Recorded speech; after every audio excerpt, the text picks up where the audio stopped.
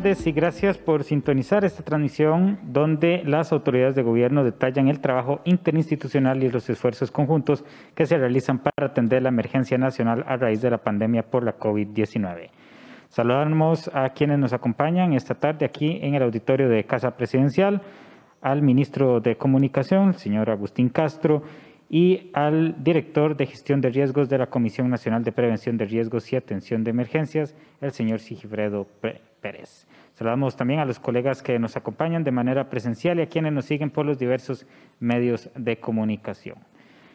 Eh, importante mencionar que el reporte epidemiológico para este martes será informado por el Ministerio de Salud en el transcurso de la tarde. Sin más, le, damos, eh, le cedemos la palabra al señor ministro de Comunicación, a don Agustín Castro. Muy buenas tardes, don Agustín. Muy buenas tardes, don Sigifredo, y muy buenas tardes a quienes nos siguen por la televisión y por las redes sociales.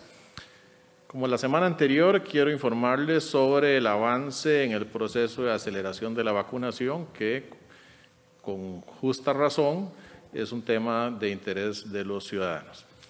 Esta mañana la Caja Costarricense del Seguro Social ha informado que estamos prácticamente en el millón cien mil dosis ya colocadas en todo el país.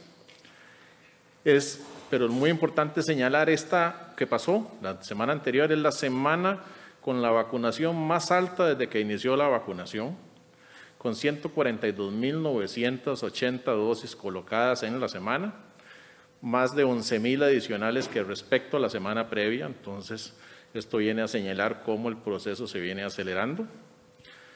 Hay 657.301 personas que ya han recibido la primera dosis y hay 436.000 personas de ellas que ya tienen las dos dosis puestas. Muy importante también que en el grupo 3, que es las personas de 18 a 57 años, que tienen factores de riesgo. Ya hay 9.202 personas que ya han sido inmunizadas con la primera dosis. Entonces también estamos avanzando en eso en 34 áreas de salud que están vacunando en el grupo 3 porque ya pasaron más del 80% de la cobertura del grupo 2 de prioridad. Y también queremos informarles que hoy está arribando 124.020 dosis de la vacuna de Pfizer BioNTech, que es igual en cifra al envío más alto que hemos recibido, que fue de la misma cifra en la semana anterior. Eso es parte de lo que permite acelerar, recibir más vacunas, permite colocar más vacunas. Y también aclarar que si bien el COVAX nos ha informado que nos enviará 88.800 dosis en esta semana. Es, ese vuelo no estará llegando hoy, como han publicado algunos medios. Nosotros siempre esperamos a la confirmación del vuelo por parte de los proveedores, precisamente para informar oficialmente cuando viene un vuelo de este tipo. Ese vuelo no es hoy, se espera que sea esta semana, pero en cuanto nosotros tengamos una confirmación oficial de que viene el vuelo, con las dosis lo estaremos dando a conocer. Queremos reiterar el compromiso del gobierno con continuar acelerando la vacunación a través de los esfuerzos de la Caja Costarricense del Seguro Social en esa materia, a través de los EBAIS, a través de los ATAPs y con la colaboración que distintas organizaciones de la sociedad civil están brindando. Y en ese sentido es importante también que sepan que en esta semana la caja repartió 139 mil vacunas para hacer la vacunación de esta semana, que esperamos sigue incrementando entonces las vacunas colocadas de cara a la siguiente semana. Ese es el esfuerzo de aceleración de la vacunación y en eso vamos a seguir trabajando.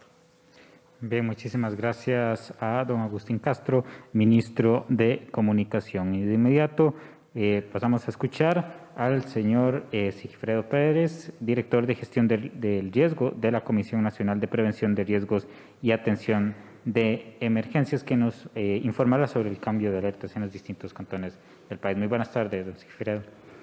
Muy buenas tardes, muy buenas tardes, don Agustín. Muy buenas tardes a todos y a todas eh, las personas presentes acá en el auditorio. Con base en la información que ha generado la Sala de Análisis de Situación de nivel nacional, Tenemos que informar que la semana anterior eh, cerró con 14.514 casos, 300 casos más que la semana tras anterior y se convierte en la semana con mayor cantidad de casos en lo que tenemos de la atención de esta emergencia sanitaria. Con la actualización de alertas eh, que presentaremos para esta semana, es importante mencionar que el país llega a 72 cantones con categoría de alerta naranja, definido por el alto riesgo de contagio que se presenta en los territorios, y esto equivale a un 88% de la cantidad de territorios a nivel nacional. Este alto riesgo eh, se ha presentado desde la perspectiva del el abordaje en los territorios de acuerdo a la sala eh, por una aceleración en el contagio. Por lo tanto, una vez más el llamado al principio del autocuidado que todos y todas debemos tener y que debe ser muchísimo más riguroso. A partir de la medianoche de este, del miércoles 12 de mayo, eh, siete cantones suben a categoría de alerta naranja. Eh, para la provincia de Alajuela, los cantones de San Mateo y de Upala. Para la provincia de Heredia, el cantón de Sarapiquí. Para la provincia de Guanacaste, los cantones de Nicoya, Tilarán y Ojancha. Y para la provincia de Punta Arenas, el cantón de Corredores. Es importante mencionar que tanto los cantones eh, de San Mateo, como el Cantón de Tilarán, suben por primera vez en toda esta emergencia sanitaria a un estado de alerta naranja. De acuerdo a la información que ha levantado la sala de situación, eh, en tres cantones se reúne el 21% de los casos a nivel eh, nacional en esta semana que acaba de pasar. Son los cantones eh, centrales, el cantón central de Alajuela, el cantón central de San José y el cantón central de Cartago. En el balance general es importante mencionar eh, que provincias como la de Limón y la de Heredia estarían reportando para esta semana la totalidad de sus cantones en condición de alerta naranja. Además de que a este momento solo quedan 10 cantones en un estado de alerta amarilla, resaltando el cantón de Turruares, que es el único cantón en el marco de esta emergencia sanitaria que ha permanecido en alerta amarilla durante toda la atención de esta emergencia. Adicionalmente, queremos mencionar que en la semana del 3 al 9 de mayo, equipos de la Comisión Nacional de Emergencias se dieron a la tarea de visitar 34 cantones de la región central y 14 cantones de las regiones periféricas, con el fin de poder verificar el cumplimiento de los protocolos eh, y los procedimientos de acuerdo a eh, lo que se había establecido, a las medidas que habían sido establecidas. En términos generales, eh, se registraron más de 1.100 visitas a diferentes establecimientos comerciales, espacios públicos, centros comerciales, restaurantes, hoteles, iglesias, centros educativos, entre otros.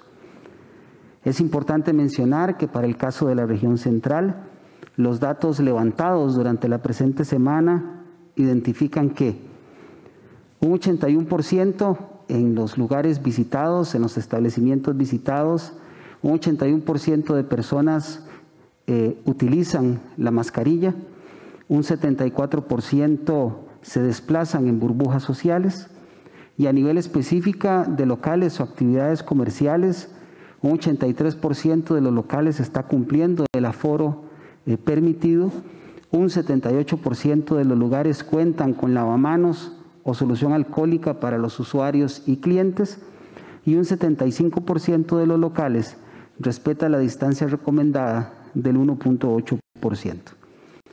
Esta información eh, nos permite, uno, eh, reforzar el trabajo en los territorios que desarrollan los comités municipales de emergencia liderados por los gobiernos locales en el marco del seguimiento que se da a la aplicación de lineamientos y protocolos en cada uno de los territorios. Eh, le permite generar información para la sala de análisis de situación en el marco del análisis nacional. Y además nos, eh, eh, nos permite concluir,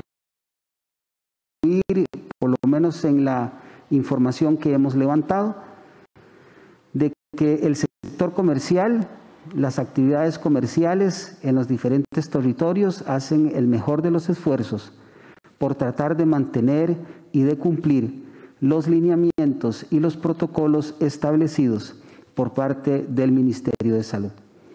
Esto nos permite hacer un llamado de atención a eh, cada uno y cada una de los habitantes de nuestro país con respecto a la necesidad de cumplir con las burbujas en cada una de nuestras familias. Se ha presentado una cantidad importante de actividades durante fines de semana, cumpleaños, fiestas, bodas, eh, actividades clandestinas, eh, conciertos clandestinos, en donde se reúne una cantidad importante de personas sin cumplir ninguno de los protocolos anteriormente establecidos, donde no tenemos el uso de mascarilla, donde no hay un adecuado lavado de manos, en donde definitivamente no se respetan las burbujas, en donde no vemos distanciamiento de ningún tipo. Y esto de una u otra forma se convierte en un elemento importante para promover o incentivar las tasas de contagio en los territorios. Un llamado, una vez más, al principio de responsabilidad individual y al principio de autocuidado que debemos tener todas y todos como habitantes de este país para no ser parte del problema, sino parte de la solución en la gran tarea que tenemos todas y todos de tratar de reducir este crecimiento exponencial de casos que estamos teniendo en nuestro país. Gracias. Muchísimas gracias a usted, don Sigfredo. Vamos a pasar a continuación con el periodo de consultas de los colegas presentes. Iniciamos con eh, Marco Tabaoda de Diario Extra. Por favor, eh, Mario, pasar al, eh, al espacio para hacer sus consultas. Muy buenas tardes, Mario. Claro, gracias. Buenas tardes. Buenas tardes a ambos. la, consulta, la primera consulta es sobre una carta de solicitud de vacunación al gobierno de los Estados Unidos, a Joe Biden, tal vez si eh, don Agustín o no sé, don Sigifredo, si nos pudieran eh, contar de qué trata, si hay alguna condición con esas vacunas que se están solicitando. Y la otra es, bueno, hoy la Contraloría General de la República eh, lanza un informe donde menciona eh, que hay grandes brechas en el proceso de vacunación dependiendo de las zonas donde se ubiquen los centros de salud y que esto podría ralentizar el proceso y bueno, se habla de que se está acelerando, como lo decía don Agustín, entonces bueno, ¿cómo tratar esas brechas y que no sea una piedra de tropezo para continuar con el proceso de vacunación? Muchísimas gracias, eh, Mario. Gracias, Mario. Efectivamente, le puedo confirmar que existe una carta del presidente de la República enviada al presidente de los Estados Unidos de América a finales de abril, en seguimiento a gestiones que se habían iniciado desde finales de marzo, en procura de cooperación para poder incrementar la cantidad de vacunas que están disponibles para los procesos de vacunación en el país y en la región.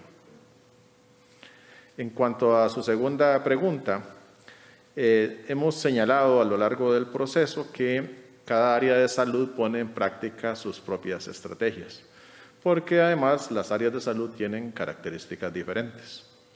No es lo mismo un área de salud en Talamanca, por decir un caso, que una situada en un área muy urbana. Y ahí no es lo mismo áreas de salud que tienen altas concentraciones de personas de edades avanzadas con áreas de salud que tienen pocas concentraciones de personas de edades avanzadas. Es decir, cada una tiene sus características. De hecho, ha sido una característica muy llamativa que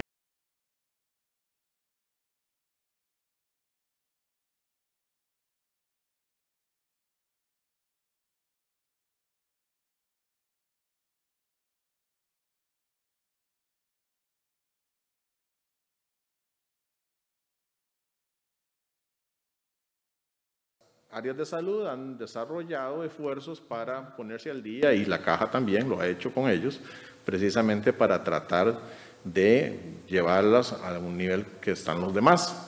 Pero estando claros en que si alguien avanza muy rápido, eso es bueno para las personas que viven en esa área de salud y de lo de que se trata es que las otras puedan alcanzar a los que van rápido y no de que todos vayan, no de bajarle la velocidad al que lo va haciendo bien y por eso es que se permitió que en las 34 áreas de salud que ya llevan más del 80% del grupo 2 vacunado, puedan iniciar la vacunación del grupo 3, porque estas son personas que tienen factores de riesgo y que necesitan ser protegidas. Don Agustín, ¿hay algún número en específico de, dosis que se le están pidiendo al gobierno de los Estados Unidos? No, no, ese tipo de cartas, una carta entre presidentes, no, no entra ese tipo de detalles. Esos detalles los tienen que trabajar los equipos técnicos. De hecho, en la carta se plantean diferentes opciones, incluyendo la que se ha, la que se ha mencionado, de un, de un intercambio o de un préstamo, pero también podía ser de otras maneras. Por ejemplo, eh, ayudando a que el mecanismo COVAX, que es un mecanismo multilateral, pudiera comprar más vacunas y entregar más vacunas a los países en desarrollo, o incluso donaciones. Entonces, las opciones están abiertas a las posibilidades que el gobierno de los Estados Unidos considere apropiadas. Una, una última consulta. Hay eh, algunos lectores que nos han dicho que, bueno, que en sus áreas de salud eh, a veces no se vacuna los fines de semana, no se vacunan varios días. Esto puede generar atrasos en el avance del proceso de vacunación. ¿Podría aumentar esas brechas que señala la Contraloría? Bueno, las brechas no tienen que ver con eso. En realidad, el principal problema para vacunar más ha sido recibir más vacunas. Y vea usted cómo la aceleración tiene que ver con la llegada de más vacunas. Yo señalé la semana anterior y quiero reiterar que en el mes de abril se recibió más de medio millón de vacunas y se puso más de medio millón de vacunas. Y que en el mes de mayo vamos a recibir, y ese es el plan y eso es lo que está proyectado y esperamos que se cumpla, vamos a recibir más vacunas que en abril. Y si las recibimos, como está sucediendo, ya para el día de hoy vamos a haber recibido 248 mil dosis en dos envíos. Vamos a poder aplicar más vacunas. El tema es tener las suficientes dosis para poder aplicarlas e ir más rápido. Ese es el esfuerzo en el que estamos. Muchísimas gracias, colega. Ahora pasamos con don Edgar Fonseca del medio eh, Puro Periodismo. Don Edgar, muy buenas tardes. Muy buenas tardes, señor ministro. Muy buenas tardes a don Sigifredo. Mis consultas para usted, don Agustín. Eh, hay mucha reacción a las medidas anunciadas ayer eh, en este eh, seguimiento a la atención de la pandemia. Se consideran desde alguna manera medidas suaves, light. Se esperaban incluso medidas más severas. ¿Qué razones fundamentales tuvo el gobierno? para adoptar las medidas que adoptó ayer y no ir a medidas más extremas como esperaba algunos sectores, incluso el director del SEACO dice que, que sí hay desastre, a diferencia del presidente de la Comisión de Emergencias. Segundo, ¿cuál es la respuesta del gobierno, eh, según lo dijo también el señor presidente de la Comisión de Emergencias, al planteamiento del equipo gerencial de la Caja de ir a medidas eh, más extremas eh, particularmente en el ámbito de salud, ante la situación que se está viviendo en el país. Y tercero, don Agustín, ayer se anunció la compra o una adenda con la firma Pfizer de dos millones de dosis adicionales a los cuatro ya adquiridas para esta firma. Con Pfizer se cierra, eh, digamos, el capítulo de adquisiciones en general para cubrir al país o planteo, eh, está en la mesa valoración acudir a la vacuna china, a la vacuna rusa, que están también eh, como posible eh, parte de, los proveedores. Esas son mis consultas. Muchas gracias. Muchísimas gracias, don Edgar. Señor Castro. Don Edgar, la pregunta dos se la voy a dejar aquí a don Sigifredo, que es experto en materia de emergencias y demás. En cuanto a la, empiezo al revés, si me lo permite, a la tres.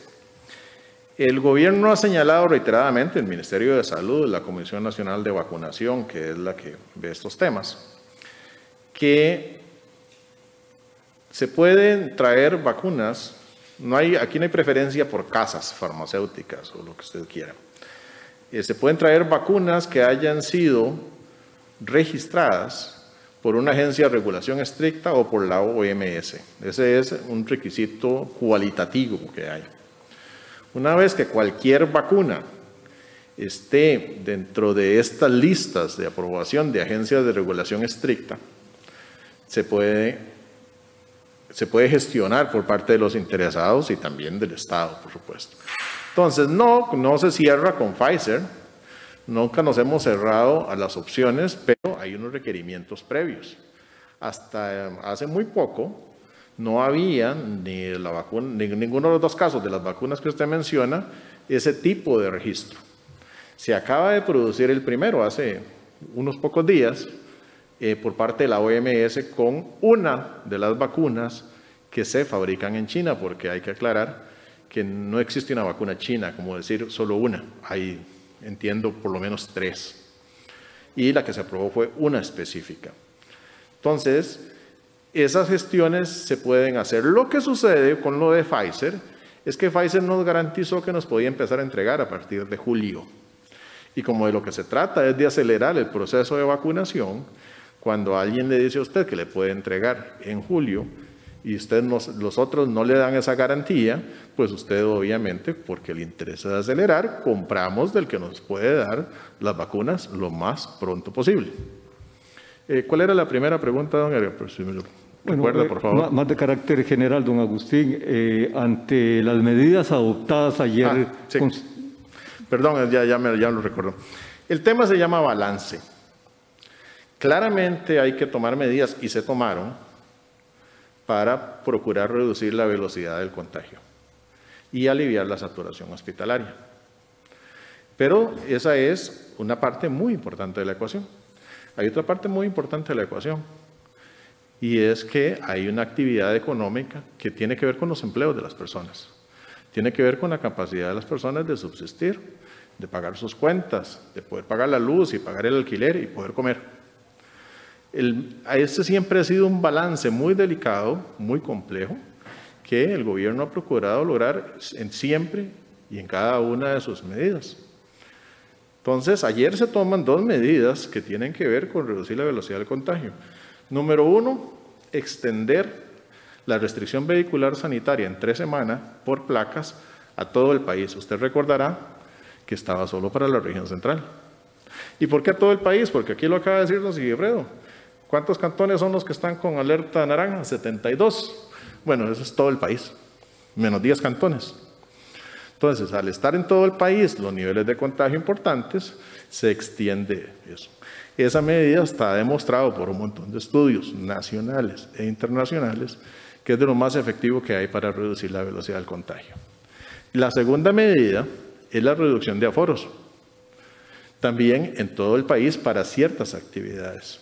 ¿Y por qué la reducción de aforos? Bueno, porque si hay menos personas en un área determinada, hay menos probabilidades de contagio, pero a la vez las actividades pueden desarrollarse. Ese es el tipo de balance que el gobierno aspira a lograr y que es su obligación tratar de lograr.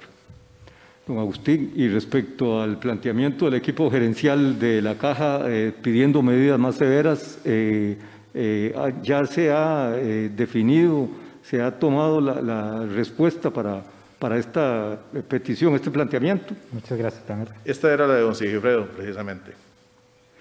muchas gracias por la consulta, don Edgar.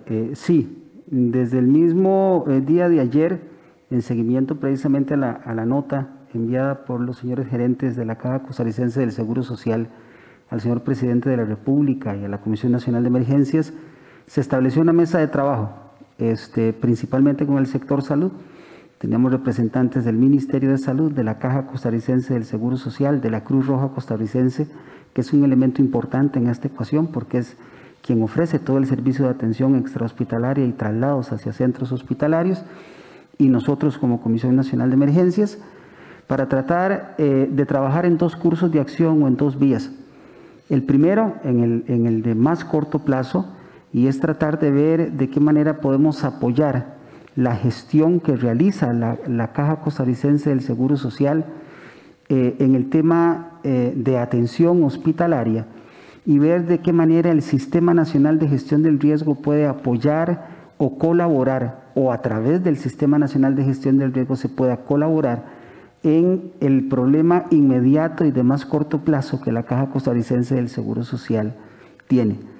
Se abordaron varios, eh, varios cursos de acción, la posibilidad de habilitar centros de contención en donde podamos eventualmente derivar eh, pacientes o personas que están eh, terminando este, su, atención en la Caja Costarricense del Seguro Social, adultos mayores este, que por condiciones particulares eh, terminaron este, su proceso dentro del, sistema hospitalario y no tenemos dónde ubicarlos para tratar de derivar este tipo de personas y permitir a la Caja Costarricense del Seguro Social liberar camas.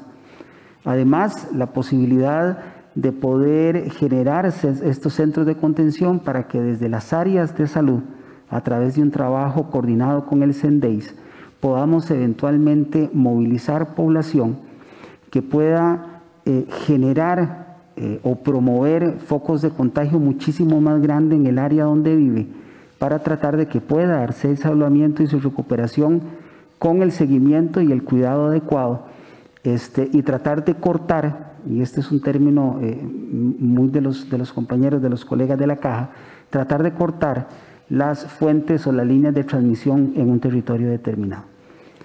Además, les planteamos ayer que tenemos ofrecimientos de empresa privada en donde han eh, ofrecido instalaciones completas para poder ser habilitadas en caso de ser necesario. Eh, planteamos la posibilidad de poder eh, ver la opción de, contratar más personal eh, que permita reforzar el, enorme trabajo que ya de por sí realiza la Caja Costarricense del Seguro Social. Eh, entonces, todo este tipo de, de, opciones se plantearon en la mesa de trabajo el día de ayer. Por supuesto, los colegas de la Caja Costarricense del Seguro Social tendrán que hacer el análisis de las propuestas, ver la viabilidad y además plantear cuáles son los requerimientos puntuales que tendríamos para poder avanzar esta misma semana. Tenemos programada otra reunión este, antes del viernes para poder ver los avances. Y la segunda línea o el segundo curso de acción es eh, justo tratar de visualizar en, el marco del balance que el señor ministro eh, de Comunicación plantea, eh, la propuesta de medidas visualizadas o orientadas desde el punto de vista técnico que podrían ser recomendadas al Poder Ejecutivo para que puedan ser valoradas de cara a tratar todas estas acciones, las de corto plazo y las de mediano plazo, a recuperar la capacidad hospitalaria de la Caja Costarricense del Seguro Social, que es el objetivo básico que tenemos planteado en este momento. Consulta adicional, don Agustín ante los brotes de bloqueos que se están percibiendo en el país, en distintos lugares del país, ¿cuál es la posición del gobierno en este momento, particularmente de cara a la movilización de los ciudadanos, al transporte de mercadería y tan sensible en estos momentos al transporte de sector salud, de servicios de salud, de emergencias por esta pandemia? Gracias, don Edgar. Ministro. Don Edgar, siempre hemos señalado que los bloqueos afectan los derechos de las personas. Las personas tienen derecho a ir a trabajar tienen derecho a ir a la cita médica, tienen derecho a ir a vacunarse, tienen derecho a dejar que pasen las vacunas, tienen derecho de movilizarse libremente y los bloqueos no se justifican. Entonces, nuestro llamado siempre ha sido a que no se recurra a esas vías de hecho y a señalar que eso no es aceptable porque viola los derechos de las personas. Así ha sido señalado abundantemente en fallos constitucionales y demás. Ayer, eh, una cosa es la manifestación, sin embargo, y otra cosa es el bloqueo. Ayer hubo personas que se manifestaban al lado del camino, pero no bloquearon.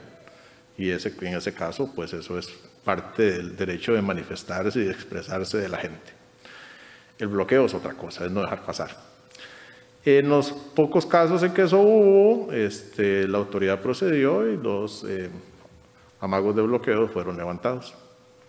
Bien, muchísimas gracias a don Edgar Fonseca Muchísimas gracias, ministro, y muchísimas gracias a don Sigfredo para eh, concluir esta conferencia de prensa.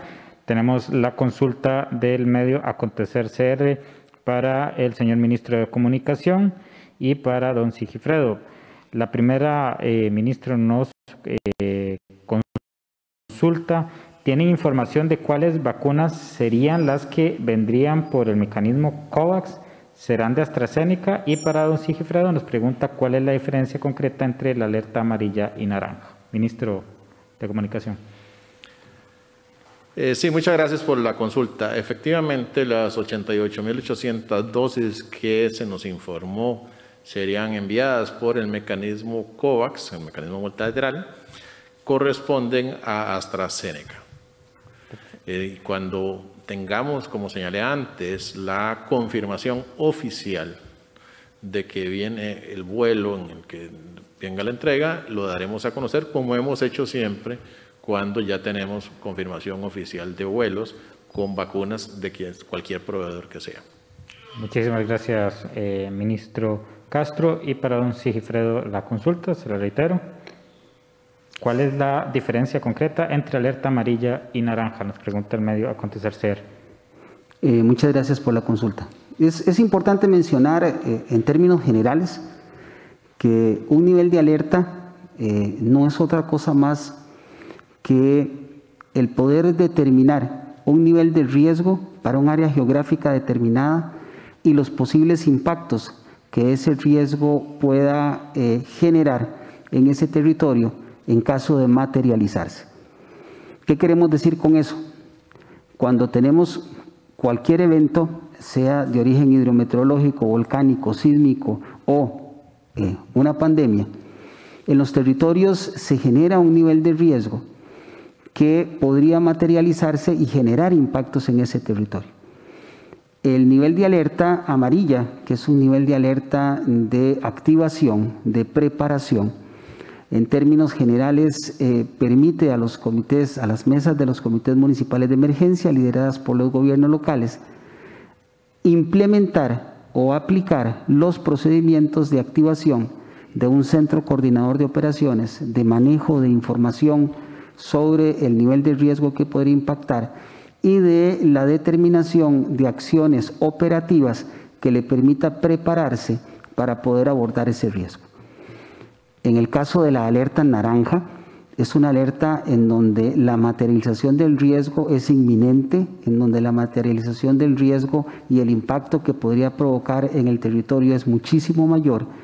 Y esto eh, permite a los comités municipales de emergencia implementar acciones de respuesta que permitan reducir el impacto de ese riesgo en el territorio. En el caso particular de esta emergencia sanitaria, eh, el seguimiento permanente que la sala de análisis de situación hace sobre el comportamiento epidemiológico en cada uno de los territorios permite determinar cómo ha ido incrementándose o cómo ha ido creciendo ese nivel de riesgo en ese territorio determinado y cuál es el impacto que podría tener. Y le permite al Comité Municipal de Emergencias desarrollar acciones específicas de seguimiento, de control, de evaluación y de atención primaria a la población, de manera tal que podamos tratar eh, eh, de reducir el impacto que ese riesgo podría provocarnos en el territorio. Muchísimas gracias a don eh, Sigifredo Pérez, director de gestión del riesgo de la Comisión Nacional de Prevención de Riesgos y Atención de Emergencias, y al señor Agustín Castro, ministro de Comunicación. No tenemos más consultas de los medios regionales. Antes de finalizar esta conferencia de prensa, le recordamos a la población y a los medios de comunicación que para consultar las medidas de cierre, apertura, operación y alertas en los distintos cantones pueden visitar el sitio presidencia.go.cr barra inclinada alertas. En este medio ya están todas las medidas dadas a conocer, eh, debidamente actualizadas. A todos y todas, muy buenas tardes.